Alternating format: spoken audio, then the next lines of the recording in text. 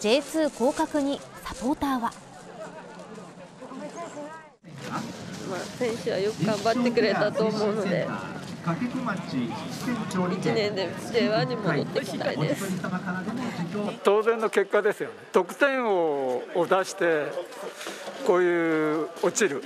チームってまずないだろうしほぼほぼロスタイムで9試合か10試合落としてるんであれだけの能力のある選手がいてなぜ自分たちで変えられないのかなってすげえ思います。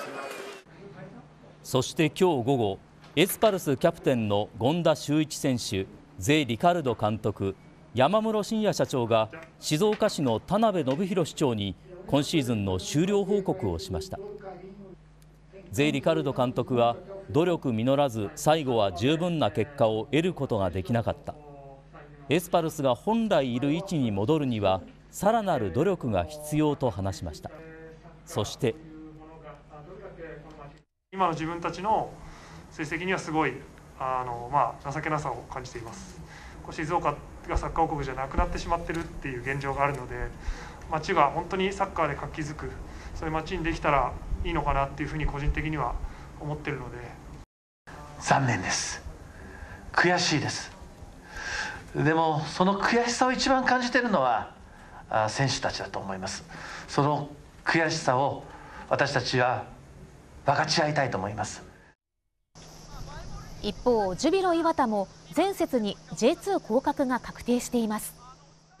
昨日は渋谷博樹監督の退任を発表しました。渋谷監督は8月伊藤明前監督の解任を受けてヘッドコーチから監督に就任。チームの立て直しに着手しましたがワンシーズンでの J2 降格となりました。ジュビロは小野勝社長の辞任も発表。新体制でのクラブ立て直しが急がれます。静岡から初めて J1 のクラブがなくなることについてクラブ創設からおよそ30年両チームを取材しているスポーツライターの望月文義はこう分析します。でもそのショックは大きいんですけど突然来たものではないということもね一つ言えると思うんですよね。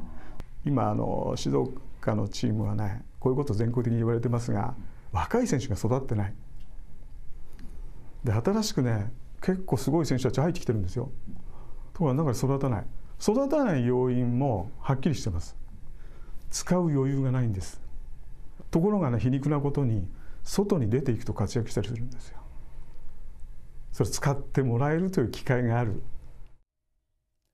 過去10年の成績を振り返るとエスパルスジュビロともに J1 残留争いや J2 降格を繰り返し J1 での1桁順位はエスパルスが2回ジュビロは1回だけです。この10年で指揮を執った監督はエスパルスが10人ジュビロは12人に上ります。こうした状況を生んだのはクラブの姿勢にも問題があると指摘します。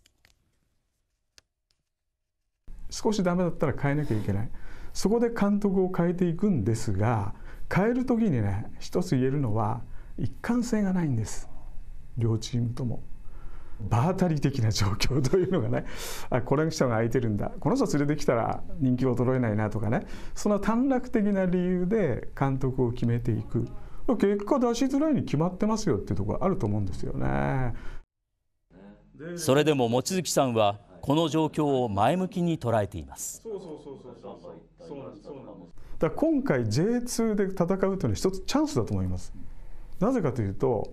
やっぱり J1 よりまあ楽と言ったら申し訳ないです。相当難しいねシーズンになると思うんですけども。その中でねやっぱり上位にいれば多少終盤にね3対0くらいの状況になったりとか2対0という状況になれば若い選手使う機会いっぱい出ますよね。そこで若い選手がどんどんどん鍛えられていけばこの静岡イズムというかそのチームイズムがねどんどんどんこう継承されていくんじゃないかっていうね強みを感じますけどね。